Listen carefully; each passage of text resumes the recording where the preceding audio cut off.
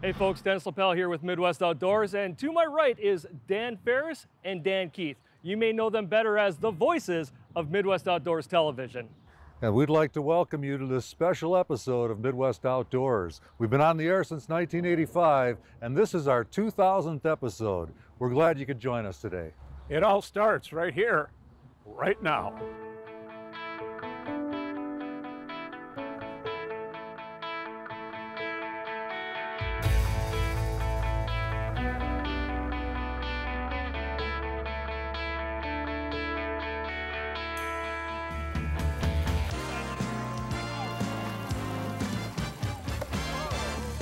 Hi, I'm Gene Laulunen, and welcome to this week's Midwest Outdoors Magazine. We've got a great show for you, so be sure to stay with us because it's a keeper.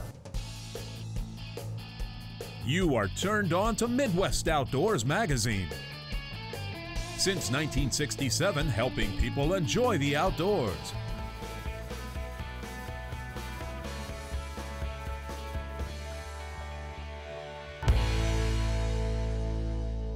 As mentioned at the intro of the show, Midwest Outdoors Television has been on the air since 1985. We had a very interesting start, and we're going to let our founder, Gene Laulunen, tell you that story. We were having great success with the Midwest Outdoors magazine, and we were growing fast. But we thought there was a way we could grow even faster, and that is to get in the television market. But we didn't know anything about it. Then all of a sudden, 20 years ago, Joe Wire died in a plane crash while filming a hunting show, and he had the only outdoor show in Chicago. We were wondering who was going to take the show over. So we investigated, and nobody had plans to take it over, so we said, let's do it. And that was the start of the Midwest Outdoors TV show.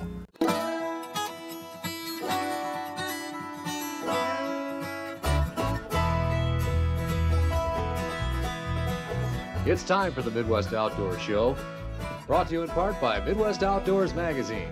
Over 20 years of helping people enjoy the outdoors.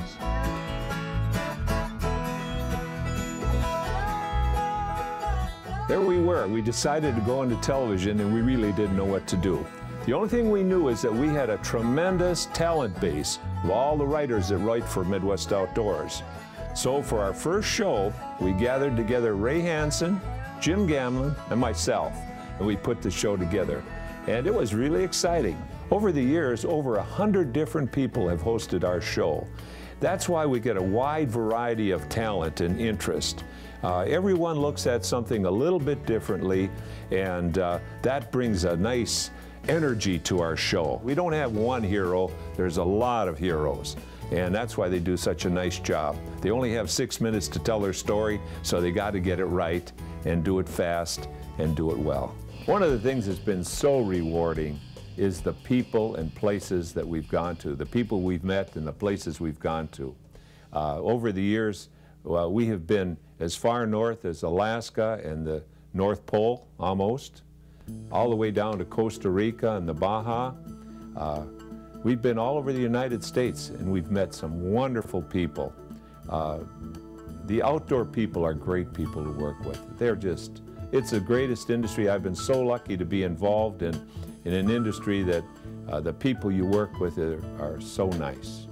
And that's what we find out as we travel across the country and go to lodges and visit uh, fishing guides and manufacturers and things around the country. The outdoor people seem to be wonderful. We feel so lucky to have all these wonderful experiences, but the best part of it is we're able to share those with all our viewers and readers. So many of them have taken trips as a result of what they see on in our program, and then later they write us and tell us what a wonderful time they had and a memory that they developed that'll stick with them forever. The future of Midwest Outdoors looks really good. Uh, we have over a 100 people that we draw from our talent pool that bring these rich, exciting shows that we have. Uh, and our market's increasing all the time, where there's a bigger demand for advertising space and there's a bigger demand to see our show throughout the whole Midwest Outdoors you know. And so we're going to we're, we're going full steam ahead. We're going to continue to go, and continue to grow. Uh, if you don't grow, you you go backwards. All of us here at Midwest Outdoors uh, really appreciate the job that we have. Simply put, it's helping people enjoy the outdoors. There's a lot more to explore out there. There's a lot of lakes that haven't been fished. And there's a lot to learn about the outdoors.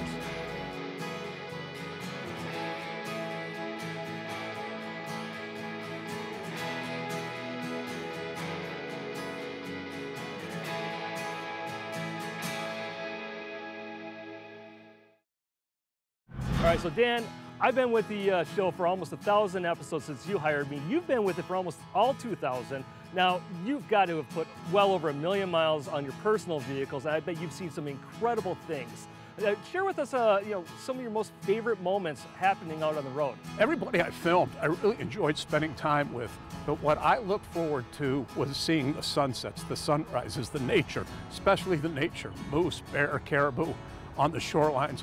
I absolutely looked forward to seeing that part. One of my favorite memories is one of the earliest memories I've had with Gene Nolan and Dan Ferris up in the boundary waters. And I'm hearing this drumming in the woods, and it's not too far away. I make my way into the woods, the sun has just come up, and I found this log that has a ruffed grouse drumming. And I just kept working closer, closer, and closer until finally I was on the log with the grouse filming. Now that critter is probably just as famous on the show as many of the guests we've ever had. But another critter that is almost equally as famous is Larry Ladowski. Got him. Well, that was just weight. You just feel the weight when you had to set the hook. there was no chomp, there was no bite, it was just weight. Oh, no, there you go. wow, that's a football. That's a gorgeous fish right there. Right back down the bottom. Wow, Larry Ladowski here and another fantastic trip to Lake Erie. Over the 30 years that I've been doing this, it's hard to pick a one most memorable trip. There's been big fish, small fish, no fish, you name it, plane crashes, two fish caught on one lure, unbelievable. But if I had to pick one, it'd probably be with a guy by the name of Colby Sims about 15 years ago. I was fishing down in Kentucky Lake and Colby says, come on over to Lake Kincaid and we'll do a muskie shoot. So we're fishing. First thing out in the morning, we go into the stick bay or stump bay. We're fishing and all of a sudden Colby's rod just gets ripped right out of his hands. He turns to me and he starts apologizing. Larry, that's never happened before. I've never had a fish take a rod out of my hand. And we're just standing there looking at each other and the rod's sitting about five feet in front perpendicular to the boat. The butt ends up out of the water because it's a cork handle. Rod tip goes down, just like a bobber, it comes back up. And I look at Colby and he looks at me as if we're saying, Did you just see what I saw?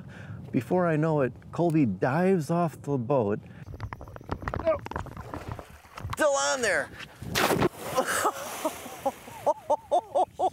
He's still on.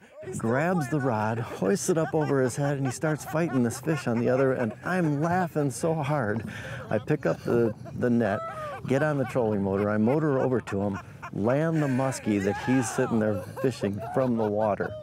I wound up doing a close right then and there because there was nothing better going to happen during the day. But there's two things that you don't know about that shoot that are behind the scenes. Number one is when Colby jumped in the lake, the first thing he did was fry out the microphone, the $500 microphone that allows us to talk to the camera.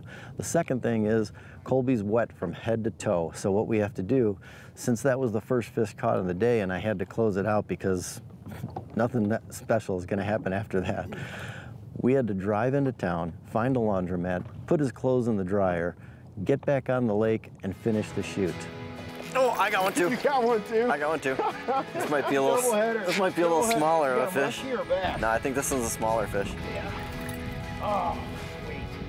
But I'd have to be remiss if I didn't say that fishing with my three kids, that was something special too. And anytime you can spend time in the boat with friends and family, it's priceless. Now, Dan, you've been with the show since episode number one. Now, over the years, you have got to have had some incredible moments, incredible memories that you've experienced with Midwest Outdoors. Many, many great moments. I remember we had Hall of Fame fisherman Mick Thill on the show. and he was touting his bank fishing methods and the effectiveness of them. He hands me a pole. First lift I had two fish on one hook. And we've also had entertainers on the show, Ted Nugent, uh, Grammy Award winner Brittany Howard. We've had a lot of great fishermen, including Al Lindner, Kevin Van Dam, Mike Iaconelli. We've also had some sports celebrities, Kent Hrbek from the Minnesota Twins, Brian Urlacher from the Chicago Bears. One of my favorite days was a day out in Lincolnshire, Illinois, where we brought the Betters Boys Foundation out from the city of Chicago, and we were joined by Hall of Fame NFL player Walter Payton. And we just had a great day on the water with Walter, teaching about 100 kids how to fish. And really, Dennis, it's been a blessing being a part of Midwest Outdoors since episode one. Well, you know, it's such a, a blessing to do what we do, and, and like you said, all the great people we've met along the way, and all the stories, and all the, the fish catches, and the travel, and you know, for me, um, you know, Gary Roach, you know, legend, Hall of Fame fisherman, Mr. Walleye, kind of took me under his wing when I first started in 92 and, and we ended up traveling all over together. We went to Alaska for 10 years running. We just had tremendous, obviously, fishing in Alaska and such a beautiful place. And being able to hang out with Gary, learn so much from him over the years. Um, our trips to uh, Ontario, Manitoba, and Saskatchewan to film together. On the trip up there, I caught my personal best northern pike, a 48 incher with Gary in the boat, and it was one of those last half hour, the last day fish, you know. So this is a really cool memory there, and um, you know, also just fishing with him on you know lakes like Mille Lacs and Winnipegosis, winter and summer, and again learning so much from him. You know, he gave me a couple of great fishing tips. Uh, more more than one over the years, but two that are really stick out um, are him saying, "They bite when we get there, Raj." you know, and that's something I still say to my kids and other people in the boat when they start to, you know, wonder why we're still putzing around looking for them. uh, and that was me on Mille Lacs. You know, it's like, come on, Gary, hurry up, let's fish. And he's like, when we see, first we see the fish and then we catch the fish on his old Lowrance, right? And it's like even back then, the electronics was, you know, something you leaned into as far as, you know, we're going to put our time in on the water and we're going to find them and then we're going to catch them many, many of the segments I've shot over the years are memorable, but I always remember the one up on Lake of the Woods in an ice house at Arnesen's, Ted Takasaki, Mark Arneson and I, and we were done with doing all our filming for the week, and we just went out in the morning just to kind of goof off. And uh, we were in a fish house, and we said, let's bet a dollar on every fish that we catch. And, you know, of course, wintertime on Lake of the Woods, you're catching lots and lots of fish. And so the dollars are going back and forth furiously in the fish house. Every time someone caught one, dollar back, dollar over here, dollar over there. So while we're going back and forth trading these dollars, Takasaki's one of his fish is snags in my line. And so I set the hook and I start fighting this fish and it feels like a big walleye, you know. So I would go right into host mode and start talking about how this Lake of the Woods has got a lot of big walleyes and everything in it. Look at this, folks. The rod, it's just, I'm not even reeling him. He's going the other way. And every so often you'll get a real big fish that'll come through. Either a big Ted's behind me tugging on his line and making it seem like the fish was thumping its head and everything. And well, you got him on camera just cackling with laughter, right, while I'm playing it up. And then I probably turn around like, oh gosh, Ted. I still got a fish on here. I still got a fish on here, don't I? Or am I purely tangled with you?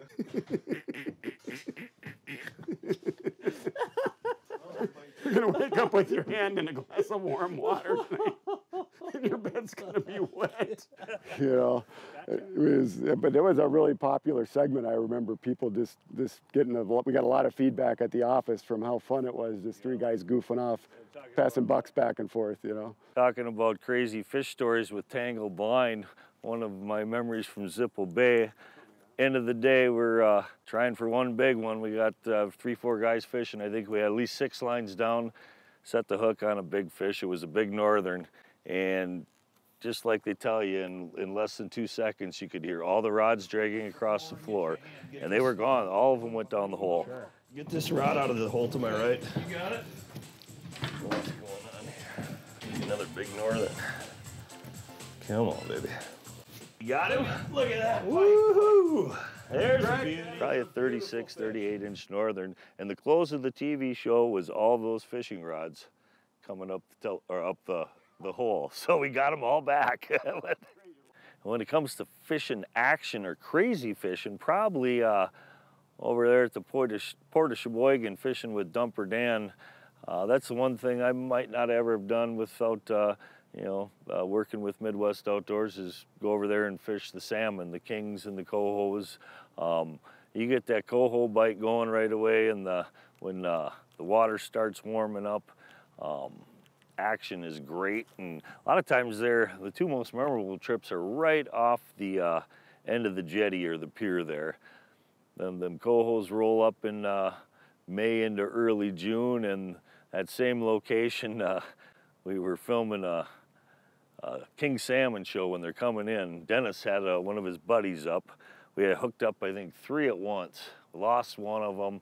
Dennis's buddy was hooked up the whole time, and of course we're filming a TV show, so Dennis doesn't want the clickers on.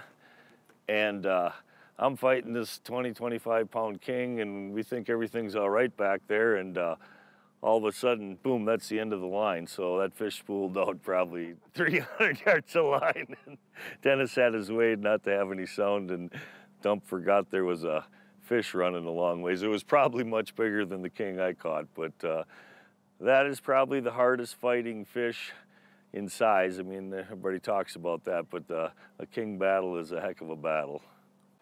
You know, we talk about blessings all the time, being able to bring fishing to you guys on television and tell our stories and share with you all the great places to go fishing and how to catch them. And obviously, my greatest blessing has been being able to take my kids to work a lot um, and having them join us, whether they were uh, in the boat with me when we were working and making a show or not. And I've got a really fond memory of my, my younger son, Nicholas. And, you know, he was seven or eight years old, and, and we were up in Crane Lake. and it was him and dad in the boat. We were fishing smallmouth, and he put a clinic on. I mean, he schooled dad, and you can just see in the segment his chest is puffed out, and he's so proud and so happy that he, quote unquote, held his own in the boat and made a real fishing show with his dad, as opposed to just being in the boat giggling and catching a few fish. And real proud papa moment uh, there with that segment. And you know, we we went on a lot of trips together, the boys and I. You know, up to Showalters on flying trips to Canada and you know, just catching 100 fish per person per day and all the houseboat trips over the years and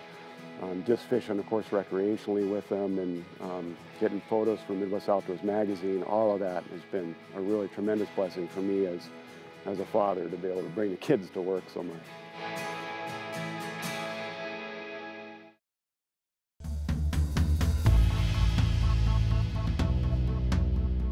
Dan, we usually end the uh, episode with uh, a tip of some sort, or sometimes multiple. Uh, now, over the years, you have had to have gotten some invaluable fishing advice out on the road. Oh, there's so many great tips we've gotten that I'm going to mention one fisherman, Jim Saric. Something that he did was the way he paid attention to detail. His attention to detail was second to none. Constantly sharpening hooks, checking his uh, rigging, checking all his connections, that in a boat, sometimes you want to be staring at your electronics. Jim was constantly surveying the water, looking at electronics.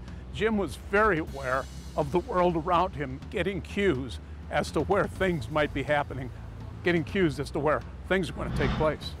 over the years, you get to meet a lot of people and you get, uh, get to talk fishing and some of the things that stick out, you know, uh, old timer in Mankato told me one time, well, either fish them shallow, deep, or on the edge, and that was the progression he was referring to.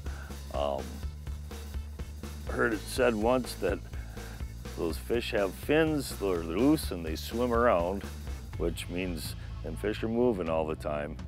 And I got the chance to do some work up at Camp Fish and hang out with Al Lindner for a little bit. He gave a, gave a great speech and said something that made sense. He had learned it the hard way himself. The fish are always biting somewhere. You know, someone a long time ago gave me a good piece of advice that I try to remember every time I go out, and that advice is, if your line's not in the water, you are definitely not going to catch fish. And it's true. You can change out lures, you can, if, but if a presentation is working, you want to keep your line in the water at all costs. You'll put a lot more fish in the boat. You can change line, you can experiment, but if that line is not in the water, you are definitely not going to catch fish.